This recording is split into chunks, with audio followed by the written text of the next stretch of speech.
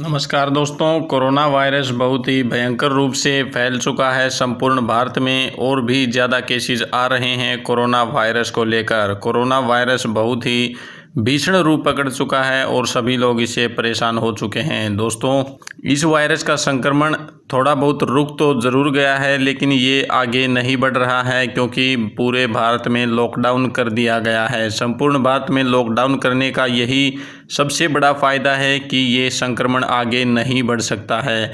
लोग अगर अपने से दूसरे के साथ संपर्क में नहीं आएँगे तो ये वायरस बहुत ही कम हो जाएगा और आगे फैलेगा भी नहीं। और दोस्तों इस के कारण बहुत ही बड़ी बड़ी समस्याएँ पैदा हो चुकी हैं संपूर्ण विश्व में। दोस्तों, सबसे बड़े खेल ओलंपिक के खेल होने वाले थे जो 2020 के साल में ही होने वाले थे। 2020 के वर्ष में ओलंपिक टोक्यो में होने वाले थे। लेकिन दोस्तों अभी अभी अनाउंस किया है कि ओलंपिक के खेल टोक्यो में इस वर्ष नहीं होने वाले हैं।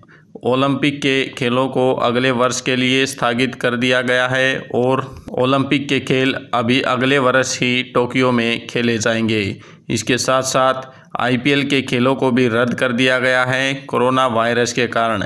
आईपीएल के खेल 2020 में होने वाले थे और ये आईपीएल के खेल अब नहीं हो पाएँगे।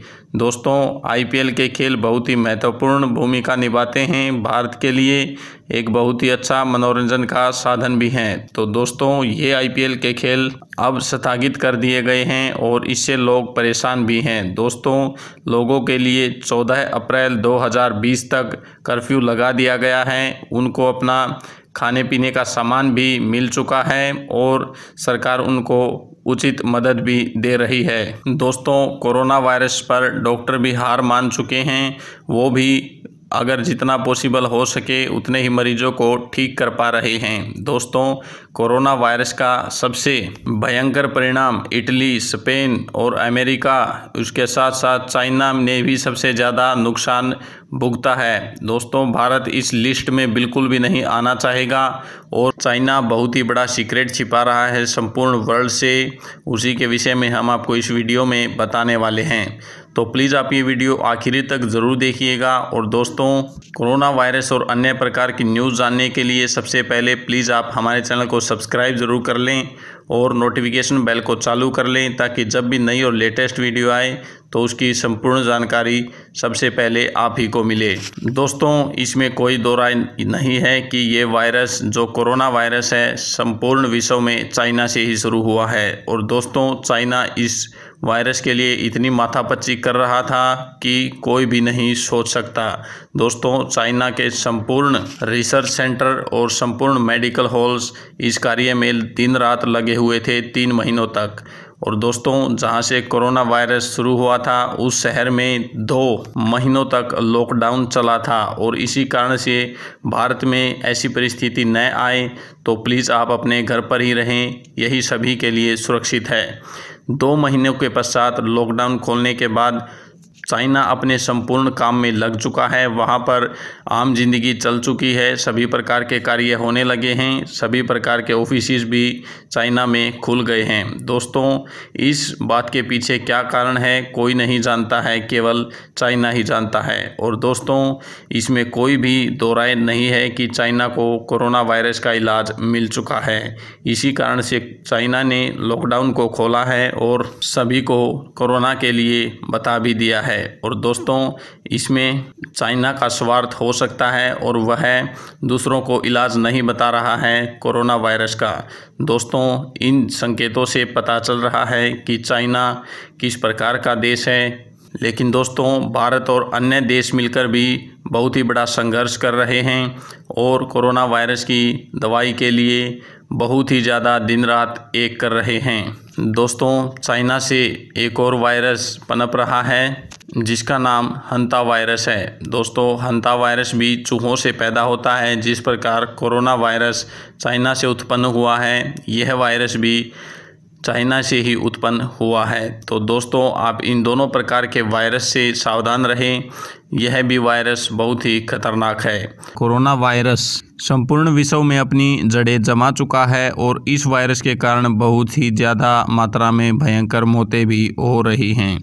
इन मौतों का जिम्मेदार केवल और केवल कोरोना वायरस है और अब चाइना से एक और भयंकर अपडेट्स आ रहा है, जो कि है हंता वायरस का। हंता वायरस चाइना से ही उत्पन्न हुआ है और इस हंता वायरस के कारण भी बहुत सारी जानें जा चुकी हैं चाइना में। कोरोना वायरस और हंता वायरस दोनों ही चाइना की उपज हैं और इसके कारण ही संपूर्ण विश्व को चाइना ने धक्का मारकर एक भयंकर खाई में धकेल दिया है। चाइना की उपज है हंता वायरस और कोरोना वायरस। दोस्तों, कोरोना वायरस के 600 से ज़्यादा मामले भारत में आ चुके हैं, लेकिन उनमें से 20 से 30 मरीज़ ही अच्छी प्रकार से ठीक हो पाए हैं, लेकिन 10 से 11 मौतें भी हो चुकी हैं भारत में कोरोना वायरस के कारण।